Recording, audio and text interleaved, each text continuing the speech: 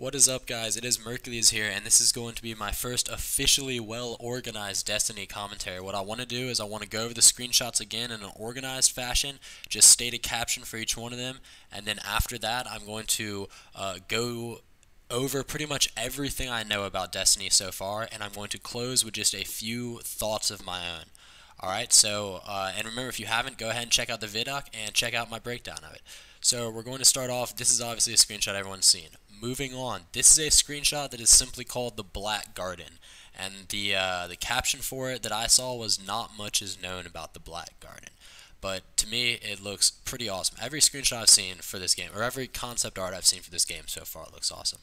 This one, from left to right, the characters are the Titan, the Hunter, and the Warlock. Alright? So the Titan is the big one in front with the gun, the Hunter is the one in the middle with what looks like stealth and a sniper rifle, and the Warlock's the one over there waving his arms, doing some magic.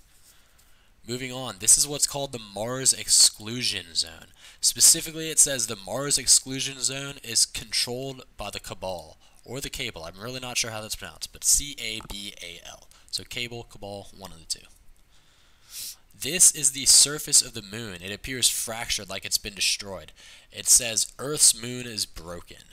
And obviously you can see the giant mountain rising up out of like the uh, little base right there. So something traumatic has happened in the moon, that much we know.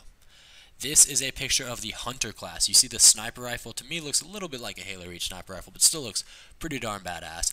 Uh, just kind of being all stealthy in the woods and letting all these enemies in the background walk past. And to me, those enemies look super badass. This is the Vex. Uh, it is a time-traveling robot. That's really all I know about it.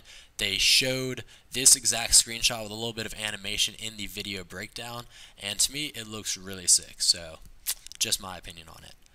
This from left to right, it starts off with the Hunter class, that's the girl. The middle class is the Warlock. The far right class is the Titan. So Hunter is stealth and sniping.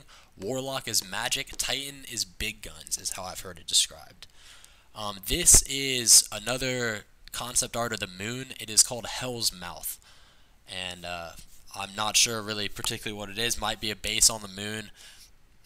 I don't know, it might be the cause of that tectonic action that we saw on the uh, earlier moon screenshot. The only caption for this is that an enemy lives here, or enemies live here. So I assume it's some type of alien base. Uh, if you look very closely at it, it's just stacked all the way to the sky. There's like rings around it like Saturn. It just looks like debris. I don't know. It looks pretty cool to me, but it is pretty cryptic. This screenshot everybody knows about, but uh, we were told that that tank in the background is called a spider tank. Not sure what the floating ball is in front of it. Also not sure I think those are enemies, but I'm not sure they might be guardians as well. This is just a screenshot of an abandoned spaceship floating destroyed. Looks like by Saturn's rings. Obviously, I'm not an astronomer, but based on the color, I believe those are Saturn's rings. And now this next concept shot is of something called the Pike. It is going to be a user-controlled vehicle, kind of similar to the Ghost in Halo, it appears, uh, with the same sliding motion along the ground, except for in this case, much more dirty and significantly less purple. So that is it for the concept art that has been released today. I'm just going to continue to let these shots play in the background, and now I'm going to go over pretty much everything that I know about uh, Destiny that I've learned so far today. I'm going to state things that are answered on IGN's FAQ, and I'm also going to talk about some stuff I learned from the video documentary, and then I'm going to provide a little bit of my own opinion on uh, this subject. So first things first, the giant ball that is hanging over the Earth, that thing is called the Traveler. Uh, I am not sure whether it itself is the traveler or traveler or whether it is the ship of the traveler whether it is alive. Uh, they said in the video documentary that some speculate that it died giving its life to save humanity. So not sure if it's dead but it's parked over earth and the last remaining human city filled with all the vestiges of humanity in the universe is underneath it surrounded by a giant wall and guarded by the guardians. And the guardians uh, are going to be the playable characters in the Destiny series, and they supposedly can channel the powers of the Traveler. So I suppose uh, at least one of them I know can do magic, which is the Warlock. And I suppose the other ones will probably be able to use its technology or something. I'm not exactly sure, but we'll move on. Uh, the basics of the game right now. Obviously, developed by Bungie, published by Activision.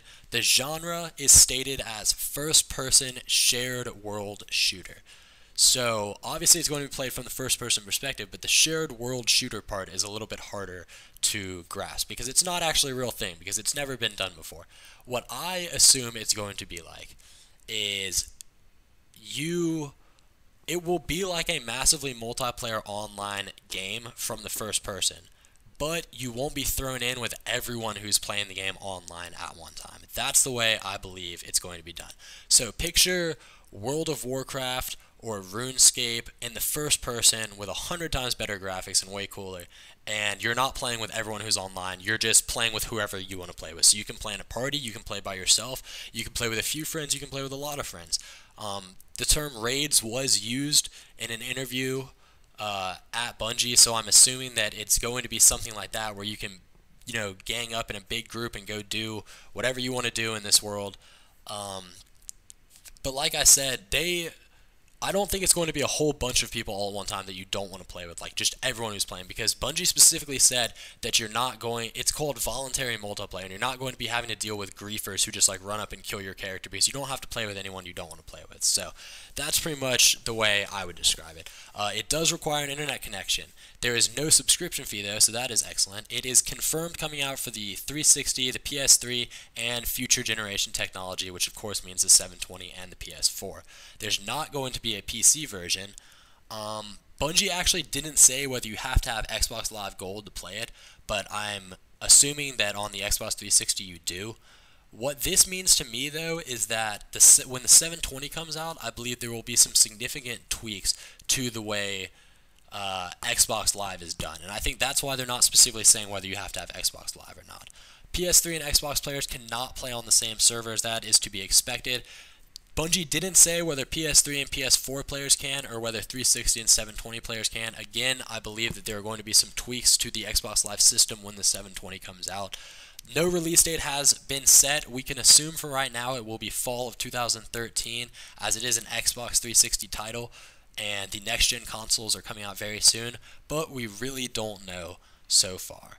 So, um, are there character classes? Yes, right now there are at least three Titan, which is the big guns, Hunter, which is the sniper rifles and stealth, and Warlock, which is the magic. Uh, we showed those in the concept art earlier. Um, there will be character customization, that much we know. Tons of it. Gears, weapons, I believe spaceships, uh, you know, pretty much the, the whole shebang, I guess you could call it. There are at least four known enemies right now. There's a four-armed insect creature, or there's four-armed insect creatures called the Fallen, which I believe if you see the clay model I posted a while ago, uh, not a while ago, yes, two days ago, that some guy put a picture up on Twitter. It was on my last Destiny commentary. Um, that is, I believe, what the Fallen is, and I'm pretty sure it's also in the screen or the concept art with the walking tank thing. I think those also might be the Fallen. Then there's something called Space Zombies, which are not uh, elaborate any further. There's time traveling robots known as the Vex, which we saw in the concept art, and there's the Rhino like Cable or the Cabal, which is the people who own the Mars Exclusion Zone. Again, don't know if there's concept art of those yet. Uh, there are going to be tons of vehicles. There's uh, the Pike already, the thing that's similar to the Halo Ghost, and there's the Spider Tank, the thing in the concept art, with maybe the Fallen, the four-legged tank walking thing. Um, as far as places you can go, apparently it's every planet in our solar system Earth, the Moon, Mars, Saturn, every planet in our solar system. Uh, some names of locations have been dropped already, such as the Cosmodome or Cosmodrone is probably what I feel like it is, Breach, the ruins on the edge of the European Dead Zone, the swamps of Old Chicago, the Tower, the Reef, giant obsidian pyramid ships, and the Hellmouth on the moon, which we saw in the concept art as well. So basically, everything sounds extremely badass.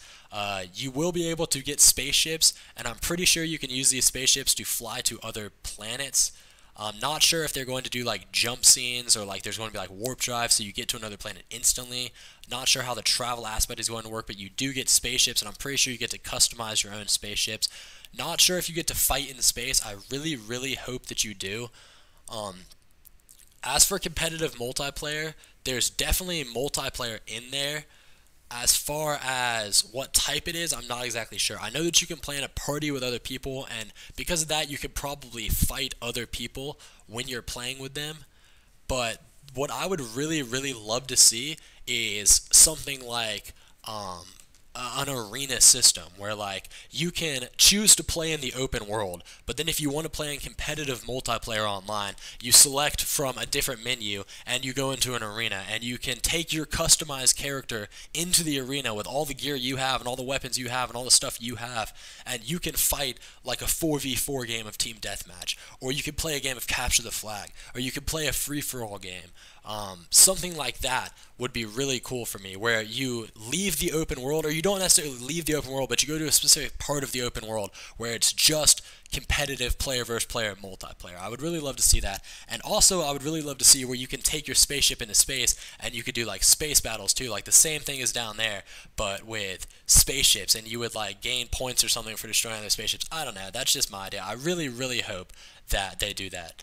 Um, so eh, maybe they will. I don't know. Another cool thing is the uh, iPhone companion app that's going to come with it because I really believe what that is going to do is it's going to make it possible for this world to be continually evolving. You see, the thing that is an issue with a completely open world game is that while you're not playing, the game continues to go on and evolve. And some stuff they said in the vidoc leads me to believe that that's the type of game this is going to be.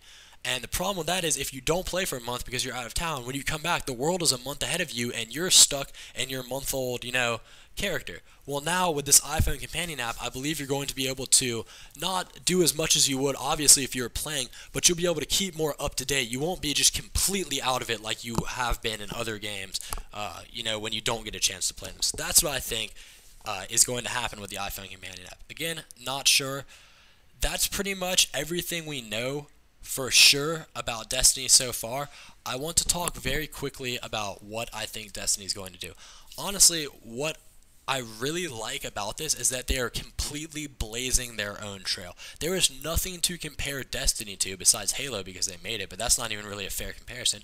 There's nothing to compare Destiny to because there's nothing like Destiny. It's coming up with its own genre. It's not just a first person shooter, it's not just an MMO. It's combining the two, and I really believe it is innovating. It is making everything for itself. Every game is going to be trying to play catch up to Destiny in the future, is what I believe is going to happen. So obviously, I'm extremely excited about this game. I have the highest hopes for it. I haven't been stoked about uh, a game like this in such a long time. Really can't wait for its release, and I believe it's going to revolutionize the way that we play video games and the way we think about video games. Um, that's it for this commentary, guys. I am going to do another commentary discussing. It's going to be uh, I don't know. I might release it later today, but I'll probably let this one ride for a little bit. But I am going to do a Halo 4 or a Halo Reach commentary, at least in a couple of days. So look forward to that. And remember to like, favorite, and subscribe for more.